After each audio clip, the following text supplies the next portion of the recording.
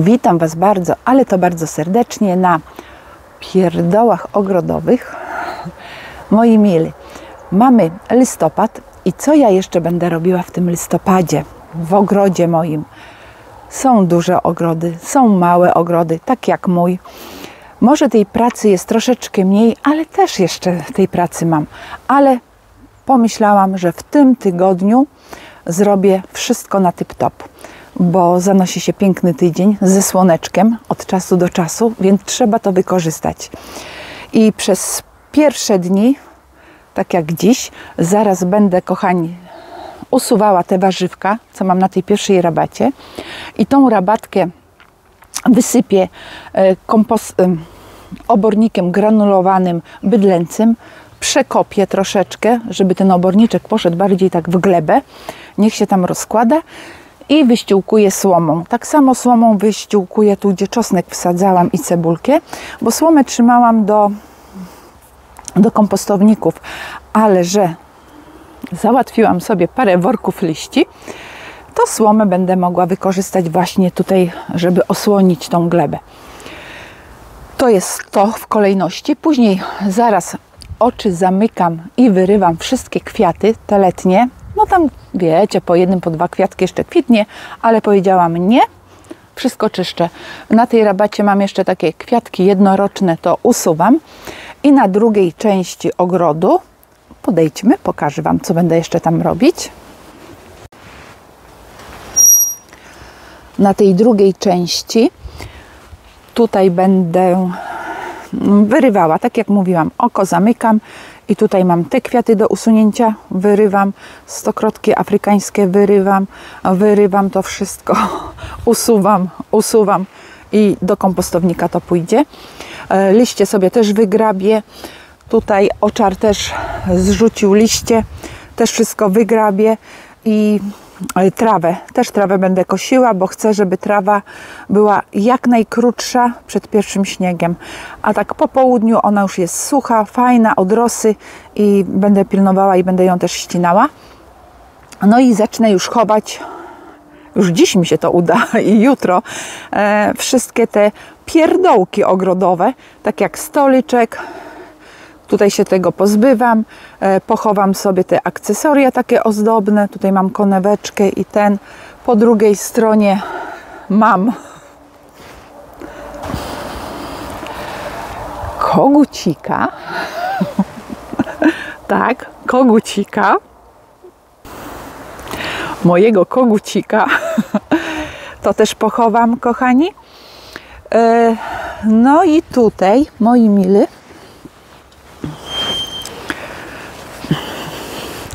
Tutaj też mam właśnie e, dwa grzybki do umycia i do schowania i jelonek. Jelonek też szczoteczko wyczyszczę, bo one są ubrudzone od ptaków. Poczyszczę i pochowam. I z akcesoriów jeszcze sobie pochowam e, oświetlenie. Znaczy te solary, co tu są powtykane, powyjmuję. Po drugiej stronie tak samo mam lampę, kogucika, kurkę, te pierdołki też pochowam. Wow, patrzcie, zapomniałam o tym. Rozmaryn, tak, to jest rozmaryn. Zioło jeszcze muszę tam przesadzić na wybieg do kurek. Dobrze, to jeszcze to zapomniałam o tej doniczce. Yy, tu przygotuję steropian. No, się zaraz dowiecie, do czego ten steropian. No i kochani, jeszcze, co jeszcze? Tutaj pod sosną ja już pompkę wyłączyłam.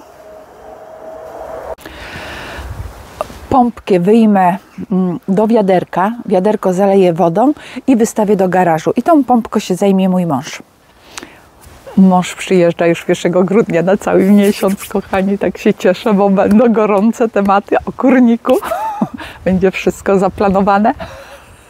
Dobrze, e, nie o kurniku. I tą wodę która tu jeszcze jest w tym oczku, wybiorę to wodę i podleję swoje drzewka, te owocowe, te młode drzewka, bo jesienią to mało tego deszczu tutaj u nas było, to nie zaszkodzi po takie dwa duże wiadra tej wody tam podlać pod te drzewka. I tutaj na te oczko położę ze dwie deski i postawię jakieś poidełko, jakoś miskę, jakieś naczynie i tam będę polewała, nalewała wodę, bo ptaki jednak tutaj cały rok przylatują, wiedzą, że tu jest woda. Już w tamtym roku też tak robiłam, że jak mi ta woda zamarznie w tym naczyniu, gorąco wodą podlewam i no, staram się, żeby od czasu do czasu chociaż ta woda tu była. Co do ptaków, karmiki. Karmik też mam do wyczyszczenia. E, drugi tu przyniosę. Też go przygotuję tam na takim stelażu, na takich nóżkach. Przygotuję karmę dla ptaków. Ja ptaki dokarmiam i latem też, ale tak delikatnie, a na zimę to im przygotuję taką tłuściejszą tą karmę. No i kochani, co jeszcze mi tu zostanie? Zostaną mi meble, no to meble wszystkie będą stały pod tarasem, te donice, wszystko razem będzie przykryte. I pod tarasem y, będzie następny filmik, y, jak tam ja sobie przygotuję pod donicę, a będą to lasagne, donice z cebulkami kwiatowymi. I już Was zapraszam na następny filmik o cebulkach kwiatowych, bo tylko to mi zostanie. No i można już się delektować zakończoną pracą i wtedy przygotowania do zimy, czyli jadę do prywatnego lasu, natnę sobie gałęzi ze świerku, cały bagażnik, zajadę tam sobie od tyłu i będę tymi gałęziami przykrywała moje rośliny. Tam właśnie, gdzie była ta łączka kwietna, tam jest dużo nasadzeń, e, tak jak lawenda młodziutka, dużo jeżówek i tam te gałęzie będę układała sobie, żeby tak przed mrozem je trochę zabezpieczyć. Zioła też przykryję. E, przykryję tutaj tak samo te jeżóweczki. No wiecie, tam gdzie trzeba, to po prostu sobie poprzykrywam. I to by było na tyle, moi mili, co mam do zrobienia. I w tym tygodniu to wszystko zrobię. No i Wam tego życzę, tej pracy, nie stresować się, zdążymy. Jak nie zdążymy, to można wiosno dokończyć. Wiadomo, na początku robimy to, co pilne. Wykopujemy cebulowe warzywa, przesadzamy to, co trzeba, nasadzamy kwiaty cebulowe, jak ktoś ma ochotę, to te prace trzeba wykonać, a te inne można i na wiosnę zostawić. Tak, moi mili, życzę Wam też słoneczka, fajnych takich dni do pracy. No i dajcie znać, czy Wy już jesteście ogarnięci od A do Z i przez okienko wyglądacie sobie i podziwiacie, jak ja mam fajnie zrobione? Czy jeszcze macie coś do zrobienia? Czy w ogóle jeszcze jesteście w lesie? U mnie to tak wygląda, jak Wam to przekazuję. No i co, kochani, będę się z Wami żegnać. Postawię sobie tam statyw gdzieś tam z boku i możecie mi troszeczkę poobserwować, jak ja sobie te prace wykonuję. Dziękuję Wam za to, że jesteście, za subskrypcje Wasze, za miłe komentarze. Nie zawsze odpisuję, ale czytam. Postaram się teraz bardziej odpisywać na te komentarze, kochani. I cóż, widzimy się w następnym filmie. Cześć!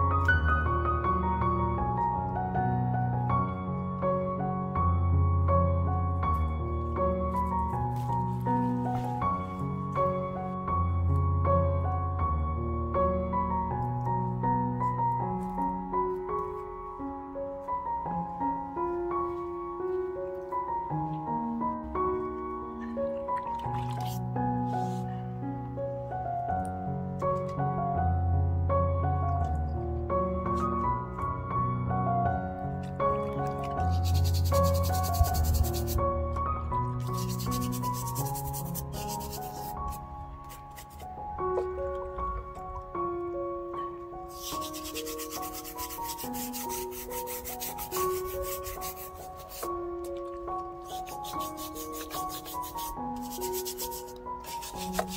you.